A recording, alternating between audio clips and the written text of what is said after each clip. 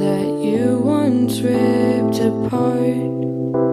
And when you try to tape them together, it'll break your candy heart.